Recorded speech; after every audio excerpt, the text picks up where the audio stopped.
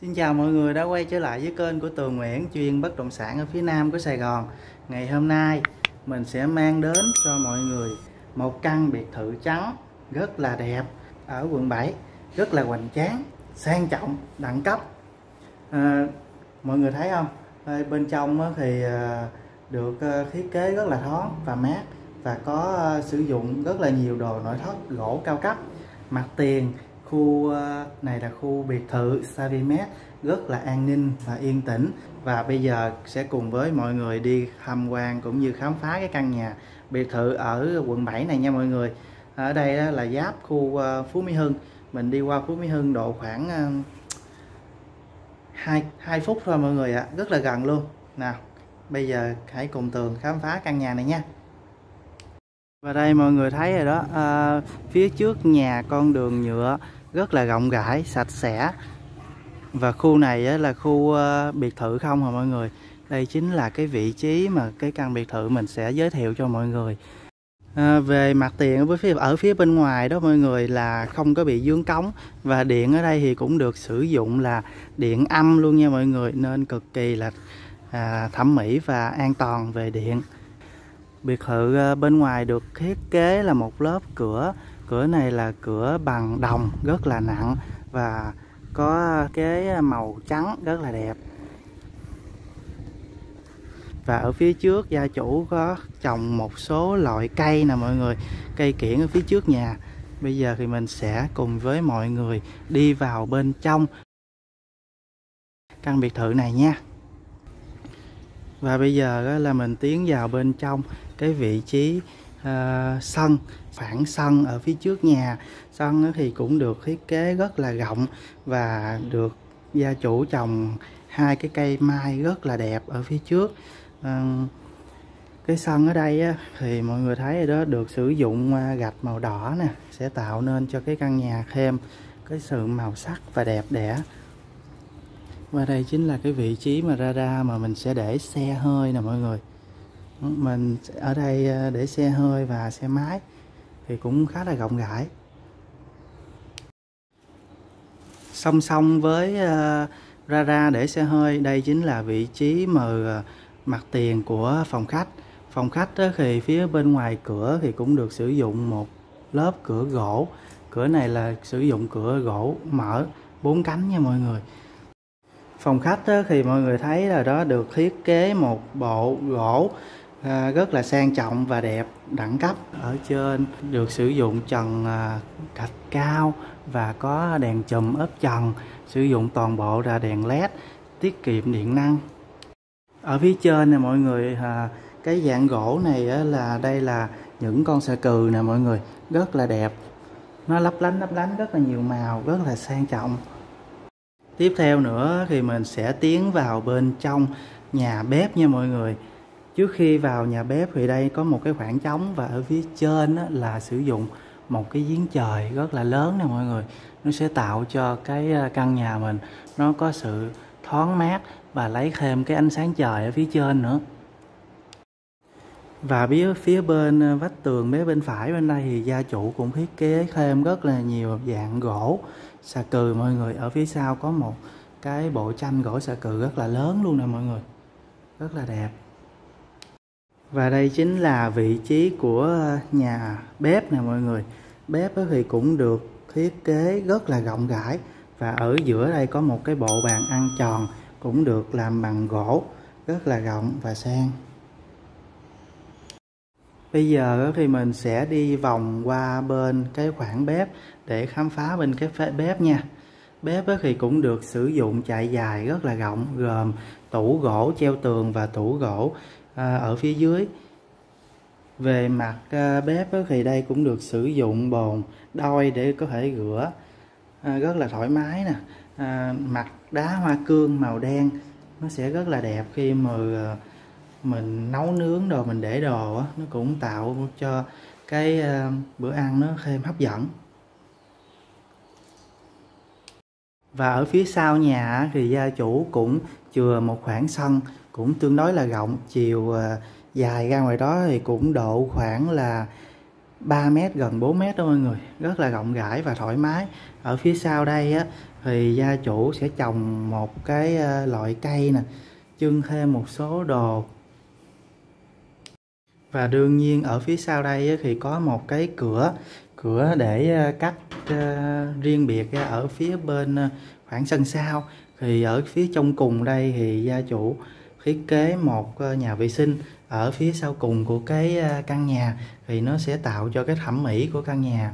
Nó không có bị mùi thứ nhất là mùi nhà vệ sinh thứ hai á, là à, nhà vệ sinh thiết kế ở ngoài đây á, thì nó sẽ um, khử trùng nữa. Tại vì ngoài đây à, có một cái cửa sổ tiếp xúc với trực tiếp với bên ngoài khoảng sân nắng. Ở phía bên ngoài đây á, thì mình mọi người thấy rồi đó nơi mà sẽ phơi đồ phơi đạt nè um, để máy giặt các thứ. Ở phía trong thì gia chủ để một cái bộ à, tập à, thể dục nè. Ở phía trên thì à, được để chống hoàn toàn. Đây là cái vị trí ở phía bên sau nhà nè mọi người rất là đẹp và có nhiều rất là nhiều cửa sổ bây giờ thì mình sẽ quay trở lại với căn phòng khách. Sau đó mình sẽ tiến lên trên lầu để khám phá. Ở trên lầu được thiết kế và được bố trí như thế nào cho đến những cái phòng ngủ và những cái nhà vệ sinh, những cái nơi mà mình có thể nằm để ờ, thư giãn. Buổi tối thì có ờ, những cái giấc ngủ thật là ngon. Như thế nào nha mọi người? Và đây nè mọi người, đó chính là vị trí của ờ, cầu thang đi lên cầu thang thì ờ, được sử dụng là cầu thang ờ, tay nắm bằng gỗ và đúc hoàn toàn. Đây chính là cái vị trí mà ờ, lầu nè mọi người. Trước khi lên cầu thang thì phía bên đây thì cũng được sử dụng một cái đồng hồ quả lắc gỗ rất là đẹp. Bây giờ mình tiến lên trên. Về cầu thang thì mọi người thấy rồi đó, gia chủ sử dụng toàn bộ bằng gỗ. À, và được thiết kế rất là rộng rãi để cho mình có thể đi lên một cách thật là thoải mái. Và đây chính là vị trí của lầu 1 mọi người thấy rồi đó, lầu 1 thì cũng được thiết kế rất là thoáng mát. Tại vì gia chủ chừa cái khoảng giếng trời ở đây rất là rộng nè. Và có lấy thêm cửa sổ hai bên à, của căn phòng nữa. Bây giờ mình sẽ đi qua cái căn phòng đầu tiên mấy bên tay phải trước nha căn phòng đầu tiên á, thì uh, sử dụng bên ngoài phía bên ngoài là cửa gỗ hoàn toàn. Và sử dụng đây chính là uh, sàn này á, là sàn uh, gạch giả gỗ nha mọi người. Ban đầu tiên thì mình tưởng đâu là gỗ nhưng mà không phải đó chính là gạch giả gỗ nha. Căn phòng đầu tiên thì ờ, rất là rộng độ khoảng ờ, 40 mét vuông có đó mọi người ạ rất là rộng. Vị trí là mọi người thấy, toàn bộ sử dụng bằng gỗ hết. Và nhà vệ sinh thì cũng được thiết kế trong phòng luôn. Phía đối diện của cái giường ngủ á, mọi người, đây chính là cái vị trí mà kệ mình có thể để tivi ở trong phòng.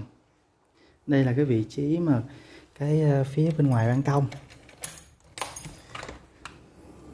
Đây là mọi người, đây là vị trí bên ngoài ban công nè, rất là đẹp và rất là rộng. Mình đi ra phía bên ngoài cho mọi người xem nha. Đây chính là vị trí của à, mặt tiền của căn nhà. Nhà nhà này thì à, hướng bắc nha mọi người, hướng chánh bắc, lệch qua tây một chút xíu. Đây chính là vị trí của khoảng sân ở phía trước nhà.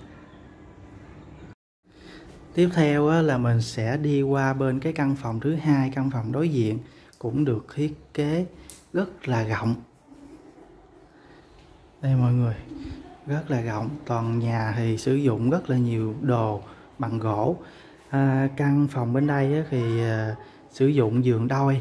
Mình nghĩ là sẽ cho um, những đứa con của gia chủ nè. Ở phía bên ngoài sau á, thì cũng được sử dụng một à, cái cửa sổ rất là lớn và rộng. Đây mọi người rất là lớn luôn. Mình có thể nhìn ở phía phía dưới của à, cái khoảng sân sau nè mọi người khi mà mình mở cửa ra thì à, gió đi vào bên trong phòng rất là khó mát và tự nhiên không có sử dụng máy lạnh. Nó sẽ rất là tốt cho sức khỏe của à, những thành viên trong gia đình.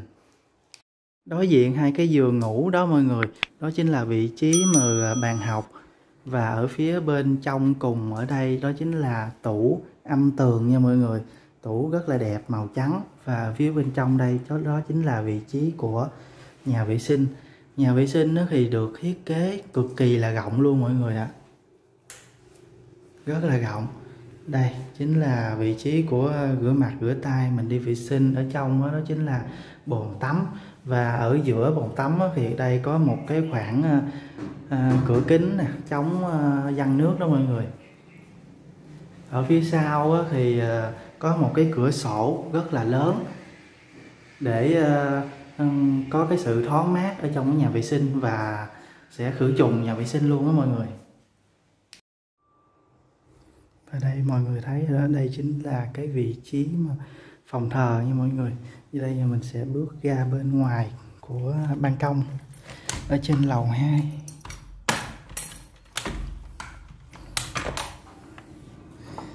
đây chính là vị trí của ban công lầu 2 khi mà mình nhìn ở phía dưới nè mọi người rất là đẹp. À, bây giờ thì mình sẽ nói về cái phần thông tin cũng như pháp lý và giá cả của căn biệt thự này nha để cho mọi người được biết. Thì mọi người thấy rồi đó căn biệt thự này à, à thật sự là rất là hoành tráng và sử dụng rất là nhiều gỗ cao cấp và sang trọng. Thì bây giờ cái phần quan trọng nhất đó chính là cái phần thông tin và pháp lý. Mình sẽ nói cho mọi người được ngắm nha thứ nhất là về cái vị trí của căn nhà này là nằm ở khu dân cư Savimet ở đây là khu ờ, biệt thự không à. mọi người thấy rồi đó rất là an ninh và yên tĩnh và về thứ hai đó chính là cái phần diện tích của căn nhà này là chiều ngang là 7 mét mọi người ạ à. và chiều dài của căn nhà biệt thự này là gồm 24 mét và được thiết kế là gồm một trệt và hai lầu và gồm có ờ, 3 phòng ngủ lớn và một phòng ngủ nhỏ và một phòng thờ. À, thì mỗi phòng á, thì đều có một cái nhà vệ sinh riêng biệt và ở dưới phòng khách á, thì cũng có một cái nhà vệ sinh riêng biệt ở phía sau nhà đó mọi người. Thì cái về cái phần nội thất á, thì gia chủ sẽ để lại toàn bộ nội thất gỗ cao cấp à, và những cái giường tủ đồ cho mọi người luôn á nha mọi người. Thì cái tiếp theo đó chính là cái hướng căn nhà này là hướng bắc và lệch sang tây một chút xíu nhưng mà nó vẫn còn là chính bắc nha mọi người và cái giá của căn nhà này là 17 tỷ nha mọi người. À, và pháp lý là sổ hồng riêng hoàn công đầy đủ hết. À, nên mọi người yên tâm. À, về mặt dây vốn ngân hàng á, thì à, chắc chắn là sẽ được hỗ trợ vay vốn một phần nào đó. Nếu như mà mọi người vẫn còn thiếu chút đỉnh nha thì mọi cái thông tin và thắc mắc gì nữa xin liên hệ trực tiếp với tường. Mình sẽ dẫn mọi người đến tham quan cũng như là khám phá căn nhà này và gặp trực tiếp với gia chủ để ờ, mình có thể nói về ờ, cái hình thức giao dịch như thế nào nha. Chào tạm biệt mọi người ở video này nha. Cảm ơn mọi người rất là nhiều. Bye bye.